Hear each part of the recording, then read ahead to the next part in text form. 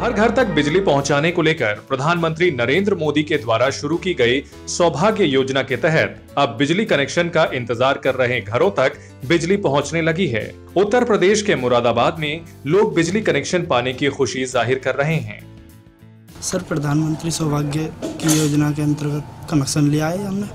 पहले हमें काफ़ी दिक्कत होती थी पढ़ने लिखने में, पढ़ता हूँ। और जो है, अब जब ये कनेक्शन हो गया, फ्री हुआ कनेक्शन बिल्कुल मुफ़्त हुआ है। तो जब से लाइट आई है तो पढ़ने में भी दिक्कत नहीं होती, आसानी से पढ़ लेते हैं और घर में उजाला रहता है। प्रधानमंत्री जी के, उससे ये मुझे कनेक्शन मिला है। उनका बहुत बहुत आभारी हूँ। प्रधानमंत्री की ये महत्वाकांक्षी योजना मुरादाबाद की जनता को भी खूब भा रही है। सरकार के प्रयास से ये सौभाग्य जनता तक पहुँच रहा है।